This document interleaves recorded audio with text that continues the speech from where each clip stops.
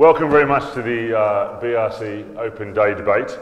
Um, good to share data, research, privacy in the NHS. Um, thank you for coming. Um, my name is Mark Sheehan. I'm the Oxford BRC Ethics Fellow and I'm your David Dimbleby, theoretically at least. We'll see how that works. Um, the, the format of the debate is we have our esteemed panellists here who will have something to say about the questions that we want to ask. Um, and, but we do want to make this interactive, so we are looking for you to ask questions about things that concern you and about things that you feel our panellists haven't addressed properly. Um, the way in which to do that is I'll keep an eye out for you putting your hand up and then I'll try to fit you in or acknowledge your question, um, as, at, at, least acknowledge your question and try to come back to you if I can. So if you could be bear with me. And then uh, Cora and Paul, I believe, are coming around with the mics. If you could speak into the mic very closely, that would be great. Okay? Um, so, how patients' data is handled used to be quite simple. 20 to 30 years ago, information about yourself, your medical history, and treatments would be kept in a paper folder and left to, another, uh, left, left to gather dust on a shelf. With the advent of computing, in everyday life, everything has changed. Now data can be shared around the world with a single click and put through complex computer programs with other patients' data to analyse trends to support research and ultimately improve patient care. In hospitals, anonymised data has been used for research for many years. So for example, if you spent four days in a hospital after, in hospital after stroke, that number could be added without your name to all the other length of stays for stroke to study how best to provide stroke care. In some cases, where your name could be accessed, you'll be asked for permission to allow your data to be used for research. You may also remember there was a proposal for GPs to share anonymised data without patients' express consent two years ago, which is currently on hold pending the outcome of a review. But the ability to access and share patients' data, need, patients' data needs is an issue that, while has excited many people from the medical community, has led to questions and concerns from others. We're hoping this debate will clarify some of these issues and provide some food for thought to help you reach your own conclusions. The aims of today are to think about a number of questions. What are the benefits of sharing data? Should you give your consent for your data to be shared? When should you be asked to give consent for your data to be shared? Who should have access to your data? And is your data safe and secure? Good. So our panellists, I'm very, uh, very glad to have this, this group of people assembled here on the stage with me. Um, to my right, far right, is Jim Davies. Jim is the informatics lead for the Oxford NHS Genomics Centre, which was set up in 2014 to lead the government's 100,000 Genomes project in Oxfordshire and the surrounding area. He's also the Chief Technical Officer for the 100,000 Genomes Project uh, nationally. The 100,000 Genomes Project will involve collecting 100,000 genomes, funnily enough, complete sets of DNA from patients and their families to analyse and better understand some cancers and rare diseases. Also to my, to my immediate right is Martin Landray, Deputy Director of the University's Oxford Big Data Institute, a new facility that's being constructed at the Old Road campus at the Churchill Hospital and is expected to open at the end of the year. The centre will study large amounts of data, including genetic, clinical, imaging and mobile sensor data on hundreds of thousands of NHS patients to help researchers better understand disease. To my immediate left is Federica Lucivero.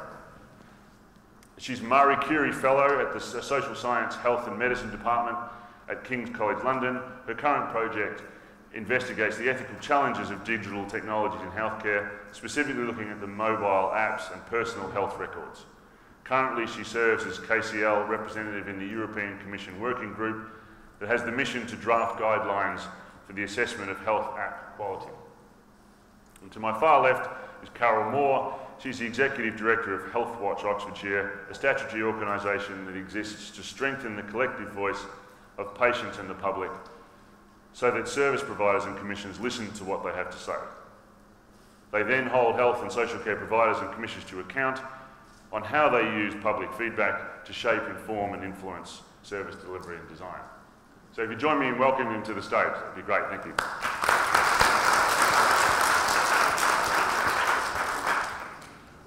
Right, to begin, it's probably useful, I think, to get on the table our first question and to get some sort of sense of why this interest in data sharing and, and data use. So I asked Martin if you wouldn't mind starting off by um, giving us some reasons why we think, what are the benefits for data sharing?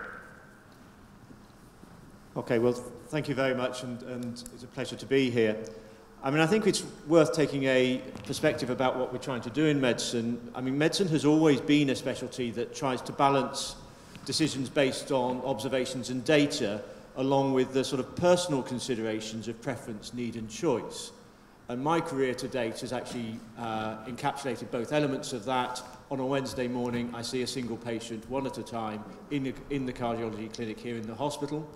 Uh, the rest of the week, I study large numbers of patients, hundreds of thousands at a time, in order to try and understand causes of disease, uh, treatments for diseases, uh, and how we might uh, prevent disease and improve health overall. One thinks back, there's a long history of getting good value out of data, uh, disease outbreaks and the effectiveness of vaccination, treatment of blood pressure and cholesterol to reduce heart disease, choice of surgery, radiotherapy or chemotherapy to treat breast cancer, and the safety and hazards of many drugs and other interventions all come from data. Without data and data on large numbers of people, one wouldn't have meaningful information on those important elements of healthcare. I think what has evolved is the new opportunities uh, uh, that have come about by the increasing use of high throughput technology. Now, perhaps in one, at one level, and Jim will probably argue with this, uh, the lowest technology piece in all of this is the electronic healthcare record. It is traditionally a convert from the paper-based record, which we all recognise, uh, through to uh, simply an electronic enactment of that paper-based record. And so in some ways, many of the issues are very similar to what you would see in paper-based records. But as we go forwards, I think there's much more power to that, in that actually it becomes uh, more feasible to assess uh, standards of care and identify new treatments from those records and enhance that information with the modern innovations. So whole genome sequencing, uh, now becoming feasible on, at large scale. Uh, the use of sensor data, uh, accelerometer data, activity monitors, um, cameras to look at uh, oxygen saturation, heart rate, all these sort of things, and to look at self-reported data and, of course, imaging data, bringing that together. I think our challenge, and I'll just finish here, is really how do we interpret those data and do it so in a responsible way. And what I'd argue is that that needs partnership doesn't just need partnership between patients and the people who, ca who care for them, although clearly that is absolutely essential. But also, it requires partnership beyond traditional medical science through to into engineering, computer science, high-level statistics, uh, and, and so on, new technologies, in order to be able to get the best value. And what I mean by that is the best information for patient care out of those data, and doing so in a responsible fashion that maintains trust is, I think, the critical element of this. Mm. Can I, can I ask you, Martin, can, just, just, for, just so that we have a, a, a sort of an example in our in sort of forefront of our mind, what would you say was is a sort of good example for us to use to sort of think about and of the benefits that the data, the sharing of data is going to give us? Well, um, I guess if I think about um, the, new, the use of uh, genetic information for uh, informing the care of patients with uh, congenital forms of heart disease. That would be one example. A second example would be using genetic information uh, to, to inform the care of particular types of cancer and develop new treatments for cancer. And another would be in chronic disease management. So I run a clinic where a, a large number of the patients have chronic cardiovascular diseases and many other diseases all at the same time one patient is one person, it's not one disease, um, and trying to monitor uh, how well those people are doing, how they improve, how they deteriorate, and how things change over time is one of the crucial elements for that. If I were able to combine the healthcare information I already have across the entire healthcare system, I have to say, with monitoring data, by which I mean uh, data on how much activity people are doing, how they're functioning at home, what levels of blood pressure, are really like when they're in the real world, not when they're in my clinic and they've suffered for the hospital car parking system.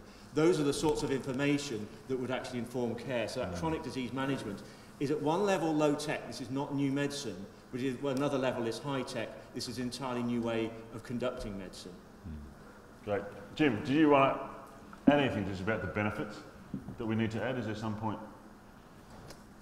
About the benefits of sharing data? Yeah. I, I, I think most people can, um, I mean, we, we do spend a lot of time quite rightly concerned about the risks, and um, I'd probably be one of the angriest people in the room about that sort of stuff. I think it, it's, you know, we're right to be concerned, but we can also be reassured there's a lot going on.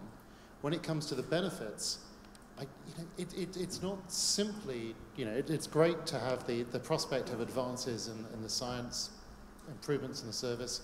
Are pretty obvious, but they can also be personal. I mean, if, if I, I would like my, you know, if, if I end up in, the, in, in cardiology as a patient, I would like whoever is considering my case, and they're all very busy, to have immediate access to every piece of information that might help them make, make the right call.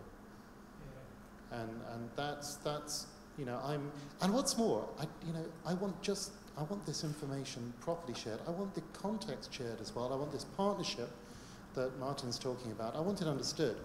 I mean, and, and it, you know, I, I, I don't want any of it misinterpreted. I want uh, not just a few facts shared. I, I, you know, I want, if someone's going to make a decision about whether to give me a drug or not, or some advice to give me, or recommendation about the course of treatment, I want them to have everything that could be relevant. I might not want other people to have that data, but I want Martin, Keith, or anyone who's going to make a call on my health, I'm trusting them with my life, I want that data in front of them. So, that's a little bit selfish. so, so if, so if I've got this, if I've got this right, then then the idea of the data of data sharing and allowing Jim, allowing your clinicians um, to have all of the data at hand. Is the reason, as the benefits are going to come from a different set of people having access to and being able to monitor and manage all of your patient data in a way that hasn't happened before or is, is, is novel. Is that that, am I got that kind of right? I was just adding that, you know, I mean, clearly, the, the, difficult thing about giving the data to somebody else is that quite often, you know, you're taking the risk and they might get the benefit. I was pointing out that actually, you know, the more we get this partnership, this engagement, and the more we can get the proper constraints around the use of this data, you know, actually the benefits will come back to the individuals. We've seen this in, in the 100,000 Genomes program. There are people who I don't know, some people in the room probably think rare diseases, well, they, they happen to somebody else, but there's a surprisingly high proportion of the population suffer. And my goodness, if you, if you look at, you know, it, obviously the, the NHS is happy to bear this burden, but I've sat with people and, and heard stories about how they have been from clinic to clinic to clinic. Um, one woman who was talking to me, you know, she'd, she'd had to give up her job because taking her child to try and get a diagnosis. And that information shared with people who can show some light on what was wrong with her child. They now have a diagnosis. And that, that you know, it's not all science fiction. There, there's stuff that can have an impact now. Hmm. doesn't mean, you know, we put away all our concerns about data sharing, but there are benefits directly to the patients. This isn't entirely altruistic. Mm. Thanks, Jim. Carol, if I could ask you, so one of the things I mentioned at the outset was this, this uh, the two years ago, the use of the, all the or the care.data stuff. And that, presumably, I think Jim has opened up this question about who should have access and these questions about access. Um, what do you think, how do you think that all played? Should we think about who should have access? I, I, th I think that was a communication disaster, really. Um, there's nothing wrong with sharing data. And in fact, what's the point of collecting data if you're not going to use it for something? But it's what it's being used for and who's, who it's being shared with. So I think when patients speak to us, what they find is that they really struggle to get access to their own records. And they, get, they really struggle to get access from their GP, from the hospital. And they think, well, what's so secret within those records that can't be shared? But at the same time, you're coming back to me and you're saying, well, you want me to share lots and lots of detail about myself with some nebulous identities out there that we haven't really said. What are these pharmaceutical companies? You know, and it, it's how we tell people about what we're using. And it's exactly what you say. At what point do we consent and who do we consent? And I think at the outset, it should be laid out who you're able to consent to stuff to go to. Mhm. And then if additional details are, you know, as your name or additional details are needed, then you can consent to particular research studies that you think might be relevant. But I think it has to be, you know, very clear what we're consenting to from Mm. the outset. And I think that's what the problem with care.data was. Right. Do you, do you think there's any limits in who should have access to our data? Absolutely, and, and this is more personally, but also informed by what people tell me, is that people with commercial interests, they're very worried about that. They're Mm. much more worried about that than, you know, if it's within a, um, a health research context that's non-commercial or within the National Health Service. I think there's, there's a big divide there that people get worried about. About, so by commercial interests, you mean Well, it could be any, any company that's looking to develop something. Federica? Yes, um, I, I just wanted to follow up because that's a very important issue. Um, I, I think we should be careful how we use language uh, in the sense that the word sharing is not value free, it's not you know, neutral. Uh, when we talk about sharing, we think about um, you know, dividing something with somebody else out of solidarity. And you know, it is true, many patients are very many of us are very willing to um, are, really very willing to let people researchers use their data for um, for research purposes that can help other people and themselves.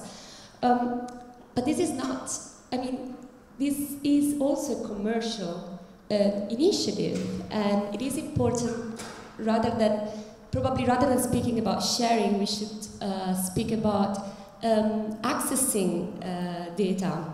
And several people have been um, saying this that uh, probably a better language would be uh, explaining how data is made accessible by whom, to whom, for which purposes. Um, and I think clarifying this ambiguity and avoiding this ambiguity in language really can help also um, avoid uh, you know, situations of public distrust as the care.data case uh, showed. So, so you'd rather that we talk about it in terms of ac- making data accessible rather than who has access? Yes, and also, you know, um talking about benefits. There are two type of benefits that we have been discussing here. One is the benefits of integrating data uh, across care setting for care purposes. Um, so this means that your uh, hospital consultant will have access to your GP records, and you know this is this is like integrating data. And another aspect is uh, having researchers having access uh, to your data for research purposes. So these are two different instances. And again, I wouldn't talk about sharing here. I would say I would talk about accessibility uh, to data because, as Carol was saying, there are also public, there are public institutes and there are commercial companies having access, which is not necessarily a bad thing, you know, but we have Google, IBM, pharma companies also doing research. Um, so the question is, you know, who has access to it? Great, thanks. You should hold on to that. Um, so we have a couple of examples of, of the kinds of people for whom our data might, it might not be acceptable to have it our data accessible to them. I think the person who lives down the street and knows Jim, Jim is not happy for them to have access to his personal data. And as Carol's pointed out, there's this concern about commercial institutions. So any other views about this? What do we think about this? Yes, sir. Um, if you just wait for the, the microphone to come. Thanks, Cora.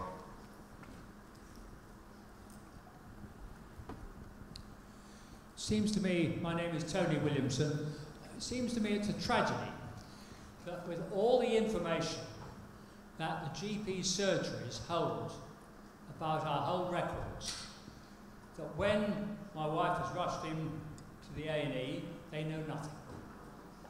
And um, at the same time, um, another relative of mine uh, has now, uh, has some time ago, been um, discovered to have tuberous sclerosis, which is a hereditary thing, I think. But clearly, the knowledge about that was around for years and years before they discovered it. And my sister, at my age, had um, uh, had epilepsy and things, which was obviously the beginning of it. And on the one hand, I feel that, uh, that, that I want my information to be available for me. On the other hand, with my sister's family, I feel that I wonder whether were that were the information about her and her family available, whether they would have picked up this tuberous sclerosis thing hmm. a lot earlier, simply by being able to put two and two together and hopefully make four rather than five. Hmm. Would, would you be just, just I mean, are there any limits, do you think, to who should have access to yours and your family's data? Where- Are you prepared to sort of draw the line anywhere? I don't worry personally. Um, I, I've been in the public media for all my life, and I've never worried about people having my telephone number, email address, or, or what have you. Um, but I would appreciate some people do. And personally, um, I'm quite happy. I, I trust people. I think most people are of goodwill. There are a few crooks around, but I think most people are of goodwill. And, and personally, I'd prefer to take the risk. Mm. Mm.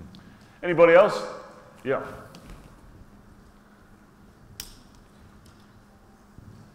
Sorry, this is more of a data accessibility sharing um, controversy at the moment that I wanted to bring up just Yeah, to sure. see what you all think. Um, as we speak, a tribunal is underway where Queen Mary, University of London, are appealing against the Information Commissioner's Office ruling that they must release anonymised patient data. The research in question is the £5 million publicly funded PACE trial from 2011 looking at potential treatments for myalgic encephalomyelitis or chronic fatigue syndrome. Dr. Richard Smith, ex editor of the British Medical Journal, states that these researchers are defending the indefensible and that the inevitable conclusion is that they have something to hide. Respected scientists and doctors from around the world, including Stanford University, have stated there are major problems with the PACE trial's design and presentation of results, leading to seriously misleading claims about patient recovery rates. For example, I won't be long, a person could enter the trial with a physical function score of 65 out of 100, seen as severely disabled, deteriorate during the trial to 60 out of 100, yet still be classed as recovered. It is crucial that the data is subject to scrutiny and the true results are revealed, since this trial has had a huge influence worldwide on the way patients with ME CFS are treated. My question is how are patients and clinicians to trust healthcare recommendations if the data upon which they are based is purposely hidden? So, so the, if I could, if I could summarise that, the, the, the problem is that the claim has been made that, that researchers won't disclose the data. Now, are they claiming that this is because it's a breach of autonomy? Well, first But of the, all, and, the cha- and the challenge is the challenge is that this is that they're falsified data or they're treating it corruptly. Is that Yes, I mean, they came up with saying that the requests were, were vexatious, even for uh, requests from some uh, Right. scientists. Then they talked about um, uh, keeping the privacy of individuals' data, and then that was Mhm. seen to be Mhm. uh, absurd. Now we don't know actually what they're doing. They're obviously paying these lawyers to appeal. We don't know what basis. I think they're worried that in other Okay, let's- scientific let's see what- researchers they will let's twist see what the everybody data thinks. But, Yeah. we need to have a debate. Yes. We need everybody to be able to see the data. you fancy having a go, Jim? Now, this is really a question for Martin, but I'm going to kick off. Um, if I, I, I will claim I don't have any sexual problems, but if, if I had engaged in a trial and I'd provided my sexual history to, to these researchers and I'd signed a consent form and they said, we're not going to give it to anybody, I'd, I mean, I, you, know, you, you might be right that an investigation is required here, but I do, do think there's a privacy issue. I wouldn't be very happy to have oh, we're going to release all the patient level, the record level stuff so somebody can go through it. All that's, you know, inherently, if somebody wished to, and if you want to validate it, you're going to have to go back to the individuals and their records. So I, I would caution you that I think there's a privacy piece around this. That, you know, uh, you might think ME's, you know, perhaps not a, not a s uh, so much of a stigma. But I don't know. I wouldn't. That's yeah, no, why I'd- we need to get at the truth. Okay, over to the professionals. Okay, so one of the things I do for a living is to run clinical trials. Um, I, I think the points you raise are really important. Um, I know nothing about this particular case at all, and I can't comment, and my, what I do say shouldn't be taken in the context of that trial because I know no, no details. I do think there are a number of issues that need to be considered. I think the very first one is what was the nature of the consent in the first place? Um, because I think uh, in the context of clinical trials, uh, uh, almost without exception, uh, a, a formal informed consent process approved by ethics committees and others is gone through. And it seems to me that then the prime responsibility from that point on is to uh, uh, uphold the terms of that consent. Now, there may be times that, like all uh, privacy issue or any other issue, where some other um, allegation of crime, if you like, or, or of of poor behaviour somehow overrides that. But I think the starting should, point should be the right of, that was, in, was, was put in the consent form in the first place. So that's step one. The second is that I think that there is a responsibility on the investigators, but there's a responsibility on researchers and the research community to produce results that are robust and reliable. And there's a responsibility to be able to defend that against allegations that they are otherwise. That, exactly how one does that might depend on the circumstance and particularly on the first. So there are several ways of addressing the concern. One of which, for example, is to is invite a second group of uh, um, analysts, if you like, statisticians, to explore the data.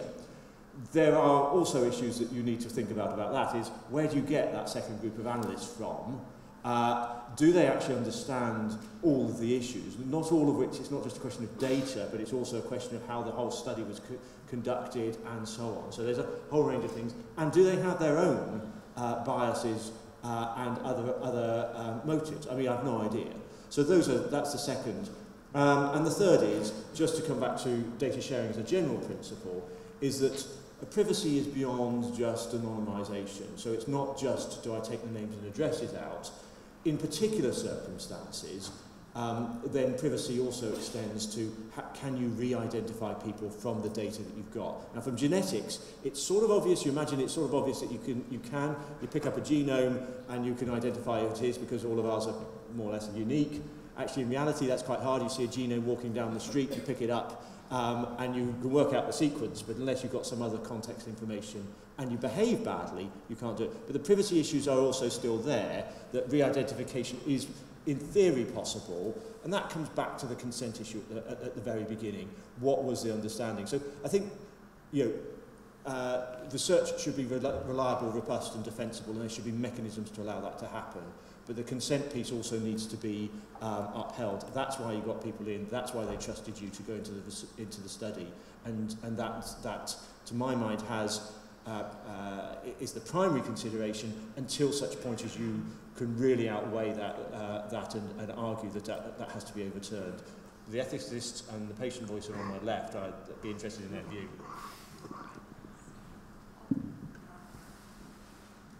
No, well, I, I also don't know anything about the case. Actually, I would like to hear more uh, afterwards. Um, and no, I, I, I, agree with the concerns that Martin um, raised in terms of consent. Um, one issue that I would like to add is the aspect of um, context um, in, uh, in doing research with large databases. And um, this is something that has been uh, studied by uh, several people doing like empirical studies showing how it is difficult to um, use, reuse data collected in a specific context with a specific research question or clinical goal in mind, which are two different things, and then reuse it for other type of research because um, some of that context gets lost. Um, and so this is um, one of the issues that also have to be considered. So how reusable is the, the, the data is and what's the point of reaccessing it, um, which is also one of the questions that have to be asked when that data is collect, collected. I think it's, um, it's really difficult when you see um, you you expect medicine to be evidence-based, and then there's a question about the evidence base, and then someone is unwilling to share information about that evidence with you. It, often the initial reaction to that would be to then go, well, what are they hiding? But I have to say, I agree with the other end of the table that the initial consent that was given was given in a context for a reason.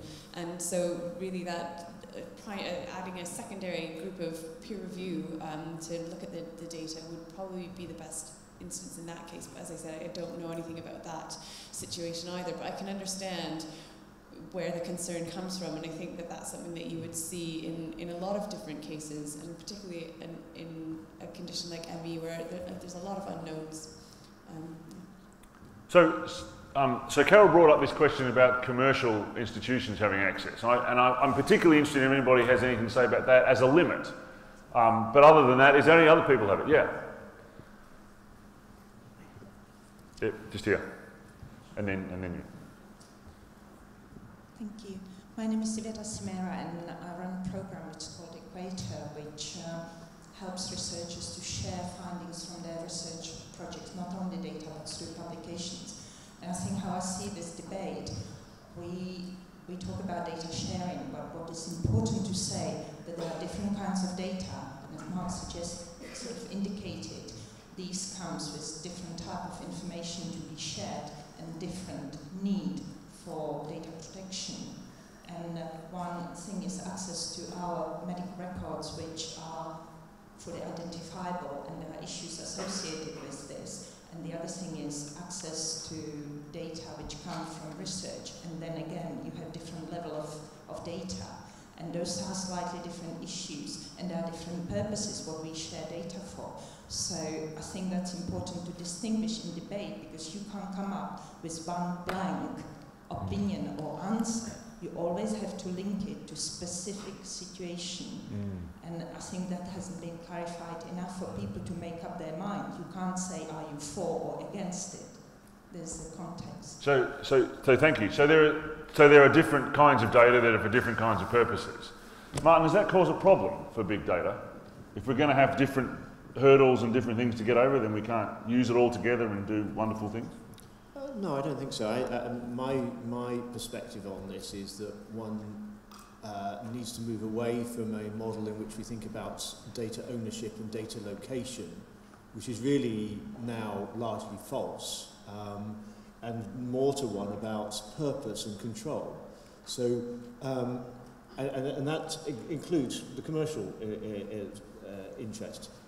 Most of the new treatments that we use have had commercial involvement in them at some point. And if we really want to know whether they work, we have to work with commerce in order to, with the commercial sector in order to make sure that we understand whether they work. And it would be, uh, uh, um, I think, unwise to assume that somehow charity or government are going to pick up those enormous uh, development costs. Um, but uh, one has to do, do, have the data sharing or data access with the relevant purpose and the relevant controls. Um, for the sort of controls you want when your data, somebody down here was saying, you know, the data that the GP has being shared with the hospital or the A&E department, that's for a particular purpose where you would anticipate a certain level of controls. You'd expect the data didn't get lost somewhere on the way, which of course is what happens to letters uh, and other things. Uh, you'd expect those controls to be in place and you'd expect that it didn't get into, generally speaking, the wrong hands. Um, Jim's neighbour or whatever. That's one letter, purpose, one set of controls. For how can I compare the performance of this hospital's A&E or this pa patients with particular diseases in this hospital versus another hospital, that's another purpose with another set of controls. Uh, and I think as one moves along the line, it always comes back to, so why are we why are we allowing those people to have access to the data? What's the purpose? What are they trying to do? And what are the controls? What are we saying they shouldn't do? Um, and one of the big things that, by and large, people don't want to happen in general terms is to be re-identified. They don't want it coming home to roost to them. So the issue about sharing data with insurance companies, let's think about that for a moment. So insurance companies build models about what's likely to happen to all of us and how long we're going to live and whether we're worth the, you know, how much they're going to charge us for that particular bet that basically we'll never claim. That's, that's how insurance companies work. And actually, if those models were better, that might actually be, have some overall advantage. And that can only be done on data, and they get their data by and large by the people who pay up for to be part of those insurance companies. So I'm not arguing to share with data with the insurance companies, but I'm just using it as perhaps the most hostile and aggressive. If, if the models get better, then I don't have, personally, I don't have quite such a problem with that. If they then get used my, to penalise me, they re-identify me, and they don't only re-identify me, they re-identify you and penalise you, and they re-identify you and penalise you, then I have a problem because they're stripping the data away and having the purpose being learn something new, get a better model, you know, work out a better system, they've suddenly come down to something which is re-identifying people and then adding, applying some sort of penalty or risk back to the person.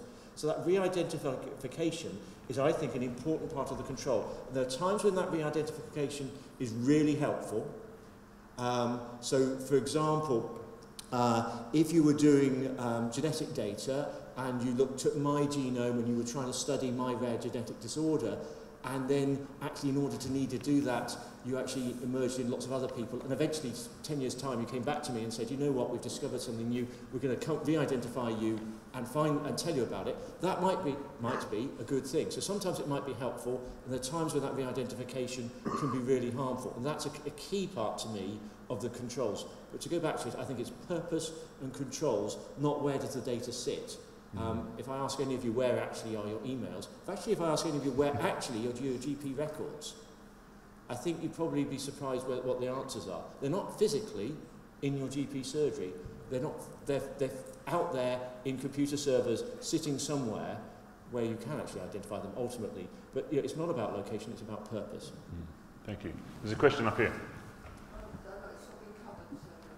Okay, sure. A bit further up.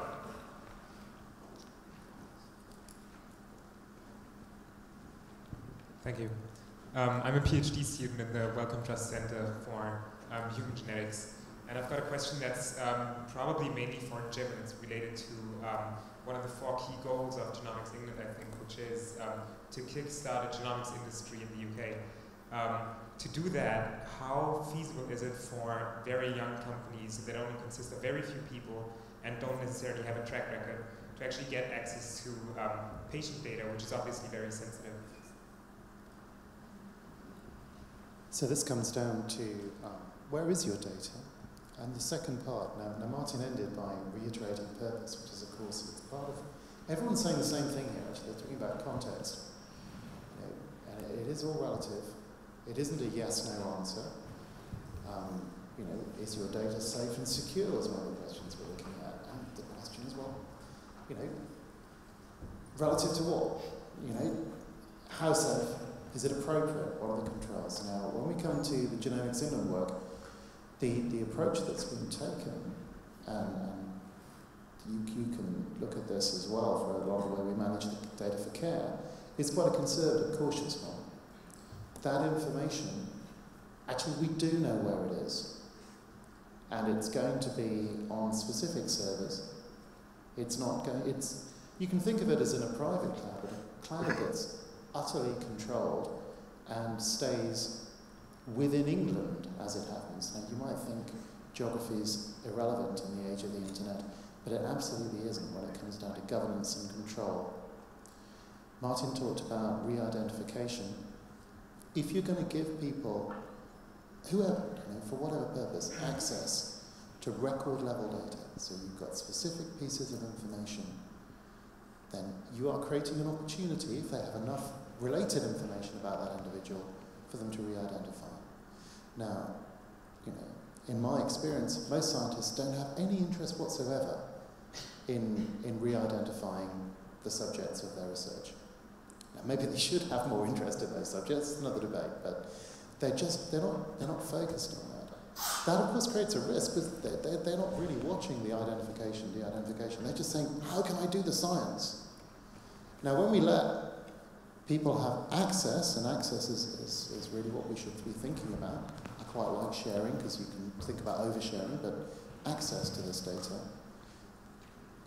As the risks that come, as the value of these very detailed patient records and the genetic information increases, the amount of information about you increases. That increases the risks. But at the same time, the technology that's given us a chance to have this information in the first place has also given us the opportunity to manage it more securely. Because we can have more information about the researchers who are looking at it and what they do with it. We, so what we do with Genomics England is we have the data in a centre and the researchers come to us. Now they come to us virtually, but every action they take, every access to the data, every piece of analysis is recorded. We can see who did what when. We, you know, it's, if you're going to give people that access, you can't stop, you can't completely eliminate the possibility of them re-identifying it. But if they do re-identify somebody and they attempt to take that, the fact of that re-identification out of our secure cloud, we'll have a record of them doing that, and they're going to be in trouble. and they're going to be in trouble because we have this governance framework around it. One, one example you might, might think of is Estonia. I don't know how many of you know even where Estonia is. It's a fantastic country. One interesting thing about it is all your data as an Estonian citizen is linked. Your tax records, your medical records, everything. And it's accessible, not, not, not to people at random, but you know, it's possible that your local police commissioner can take a look. But the technology is there so that every access, every time somebody reads that, that fact has been recorded and accessible to the citizen. And you know, you're looking for the legislation as well as the culture and the informatics to, to make this okay. So if you're caught looking at data and you haven't got a legitimate reason, you go to jail. I'm not saying we should send the, the bright young things of these startups to jail if they're found doing the wrong thing, but you've got to understand the seriousness by which when we let one of these little commercial companies, brilliant innovators, have access to the data, it's going to be under a heavyweight regime of, you know, researchers need to take this very seriously. I'm sure you do. Now, that means that getting things up to speed means you, you don't, somebody's got a brilliant idea, they've got a brilliant, just let us at the data, we'll do stuff. Well, I, I think we're moving out of that era into a more serious, well, okay, just as if you, if you know about the way medics access medical records, every access is recorded. Uh, you know, talking about EPRs, every access is recorded. We're going to be moving towards that for, for research data as well, when it's at that level of identified. Now, I know there's different levels of data, and different, but if you're dealing with patient records in a research context, we have the same expectations about management. Now, getting there, ramping that up, means that if you're a small company and you want to come and have a look at this data, of course that's part of the goal.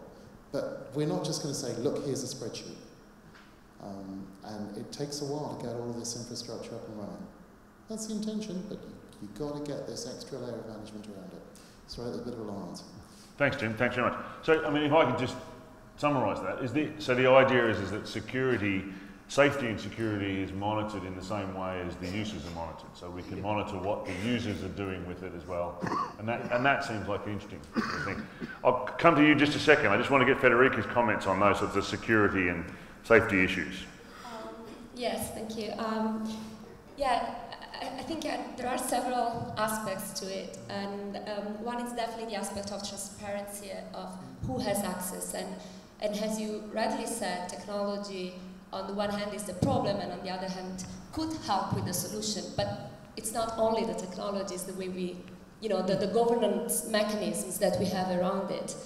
Um, and other point that I wanted to make is um, what is important is also not only to know who has access, but also, again, talking about governance mechanisms.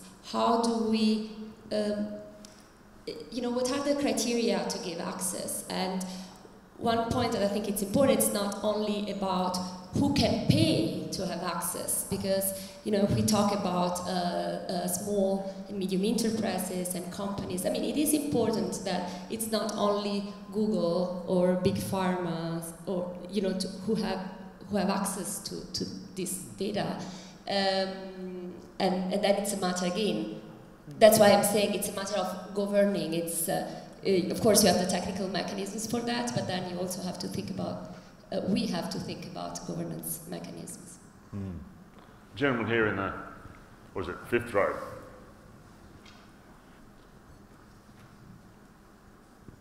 I think to solve this problem, we've got to address some of these issues of concerns by the by the patients, by the users.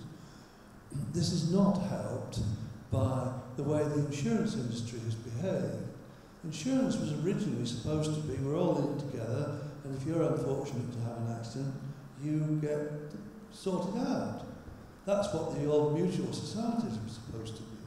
But insurance companies are going to this very selective process that you fit a particular profile, you get an insurance cost at half. And some people end up with uninsurable houses and uninsurable lives and so on. It's also not helped, I suggest, by the government allowing local authorities to sell the electoral roll. Admittedly, if you remember to tick the box that says your data won't be included, if you even realise you can do that, you can be kept out of it. But I think there's a big problem with perception here, um, not helped, of course, by uh, the hacking scene.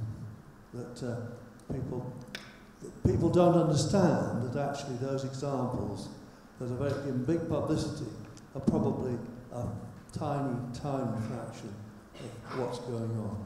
Mm. What does the panel think about those Mm. issues? Jim? I'm going to be cheeky. I think, you know, you're absolutely right.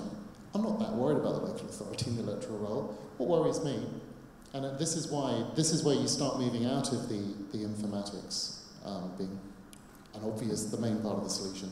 It, don't underestimate the need for new technology to help you actually impose these governance frameworks, but the culture, the legislation, the ethics around this, we, we're only just starting to realise the need for some of it. I, I don't tell my GP a lot. My, if you got my GP record, you'd find out a few embarrassing things about me, but not much. But if I think there's something wrong with me, I might Google for it. Google, Google know which devices I have. What is their The abilities. They know exactly where I live. They know my friends are. They know, you know. I think you know, worrying about the electoral roll in the council is only part of it. We're looking for something of a revolution in, in how we manage data and, and how we constrain this. And I think mm. so. It's more the other people at the end of the table. Back to the end. I, I just wanted to jump in because it's interesting to me that um, you know what is it about our health records that we're so concerned about? Because if you think about some of the places we willingly give a lot of data to, for example, your Nectar card, that gives so much information to commercial companies about your lifestyle, about um, some of your um, diet, some of your health, therefore, perhaps, potentially. And then you also have things like Fitbit. So we're, we are actually sharing a lot of data willingly without thinking about it. So what's interesting to me, is it because of the chance that it goes to um, insurance companies? Is it about the fact that there is some kind of crux of who we are within our medical data that makes people additionally concerned? And in a way, isn't it nice that the medical community is actually entering into these debates and looking at the ethics, whereas some of the other organisations that seem as though um, it'd be fine to share information with have just collected your data without really telling you. Um, I wanted to, Carol, before we put that down, um, I wanted to move on because this, this issue of what we know about what's being collected and, and what's being used in what way, as Martin's already spoken about it, this, this question about consent. That was a lot of the big issue in, in the care.data scandal. And part of that was about people not knowing. Um, and one of the solutions to that was this idea about opting in and opting out. I mean, did you have any thoughts about, about that and whether or not that sort of model might apply in this kind of case? Before you can opt in or opt out, you have to understand what you're opting in and opting out of. And I think with care.data that wasn't clear because it was so poorly communicated. People didn't really understand what their information was going to be used. In a way, do we understand what is our medical record? So are mm-hmm. you giving away blood pressure data? Are you giving away my date of birth? What is it that you're telling people? So I think we need to actually have the debate at a level where people, you know, can engage with it. And I don't think that happened with care data. It's just, oh, you know, of course we'd want to send that off. You'll help save lives.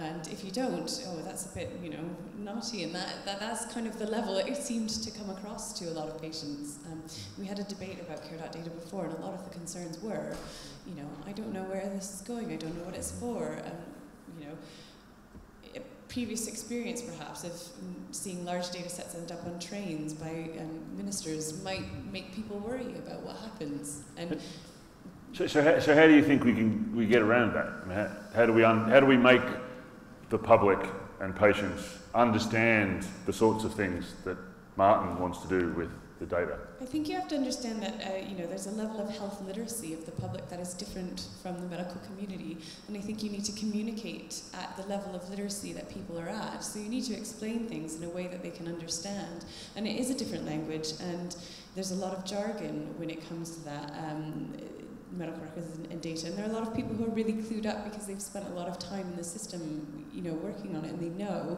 But there are also a lot of people, for my, myself, for example, who have never been in a hospital, you know, um, other than to go speak to patients, but you know, for a medical reason, and, and so maybe perhaps I don't have the knowledge or the terminology or the mm. understanding of what you might even collect mm-hmm. and what you might hold on me at all. So I think it's making sure that we have a debate that's clear and open, and so people know what they're getting into, and then to leave the decision to them ultimately, um, and and to you know extol the benefits. Mm-hmm. Mm-hmm. Federica.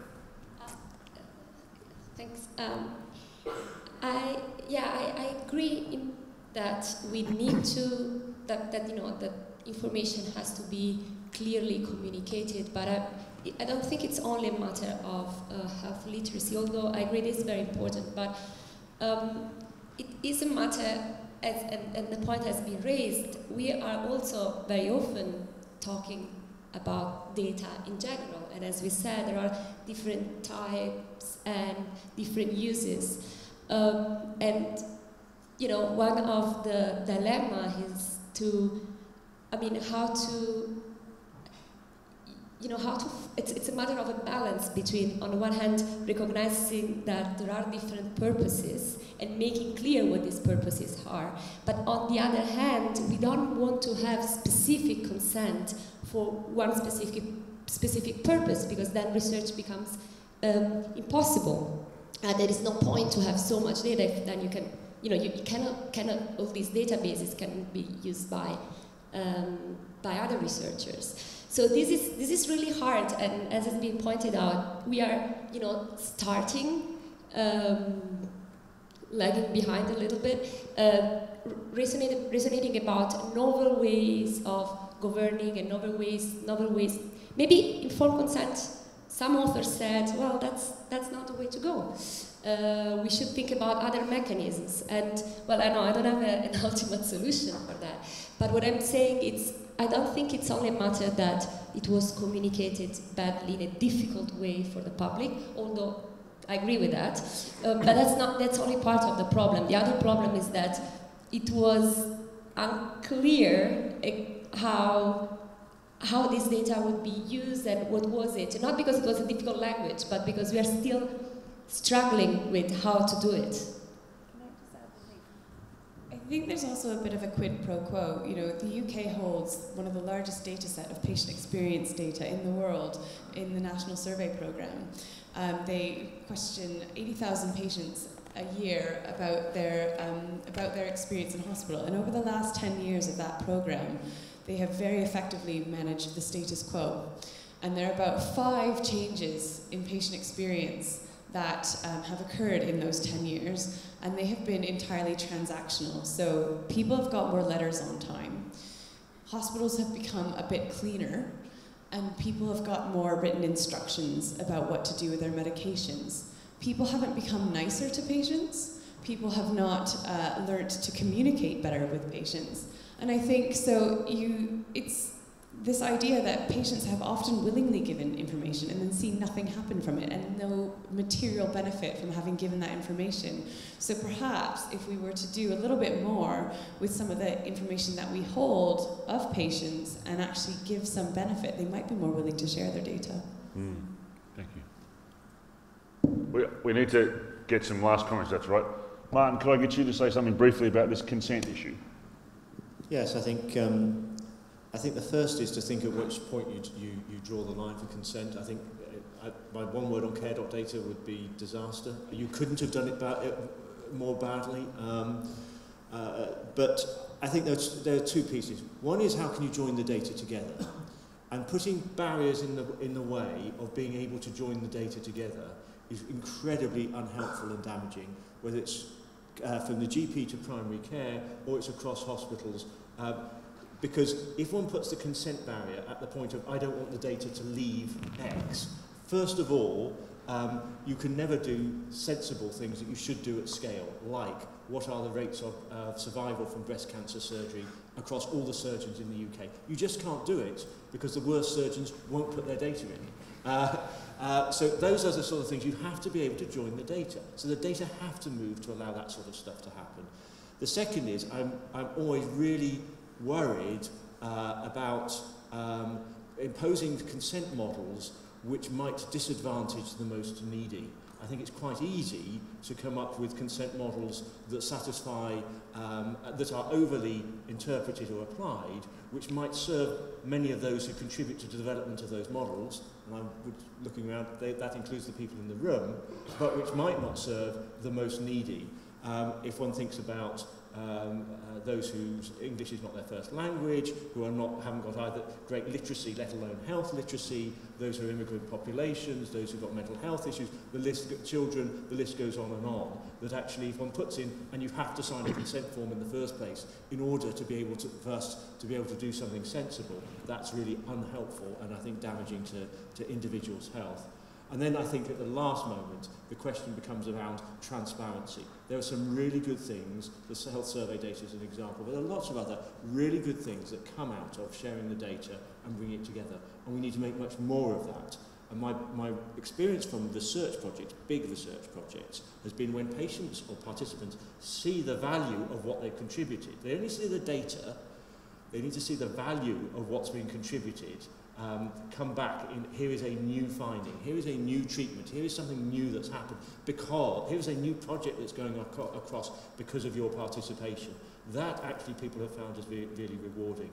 And I would keep the consent piece, but I would keep it for specialist circumstances, and that's not that's still a lot. Um, but I think you have to get to a point where you can actually do, you bring data together and do many of the really sensible and I think largely essential things that need to happen. Great, thanks very much. I need to bring this to a close. Um, we have important people speaking shortly. Um, more important people, if you can believe that. Um, but what I'd like each of our panellists to do is to give us a sentence or two about what we've been talking about, but I think with particular focus on that learning the lessons from care.data for research in the future in Oxfordshire. Jim, we start with you, just because you're there. Just because I'm here. We need, so my, my, I, I, I just think Martin's put it very nicely actually. We need more data sharing, better data sharing, and we need more controls. And we need more investment in those controls. Not just to stop the data moving from, from A to B when it shouldn't, but also to make sure that when it turns up in a different context, in a different setting, it's properly understood, it's properly used, and that we have this feedback, this transparency, so we understand what's going on. Martin? Uh, we have a duty to learn from everything we do in medicine. Um, uh, the use of data is, is no exception to that. But we also have a responsibility to do so in a way that respects uh, the patients and the, and the public who contribute to that. And that is a two-way responsibility. One is looking after whatever it is that you entrust us with, and the second is using it to the best of our, of our abilities to give you information and reliable information back. And it's a two-sided coin. Both elements are important. Federica? Well, uh, make the point again that we, we need to move beyond the sharing metaphor and um, uh, yeah, and you know the, the, the, the moral connotations that come with it and really understand what that we're talking about access and what that, what that means. Um, and that we need to be um, creative in thinking about governance mechanisms uh, that have to be in place and that that can help uh, mm. dealing with this. Mm. Great, thanks. Carol? I think once you've sorted out the governance and the sharing protocols, you should figure out how to get those records between organisations that people might need to attend as well. So it should be, it's not just kind of research versus the everyday. I think we need to learn the lessons in terms of sharing things within hospital wards, for example. Mm. Great, thank you very much. Thank you very much for coming along and for your questions and attention. Um, enjoy the rest of the open day. Thank you again. Can you join me in thanking the panel? Thank you.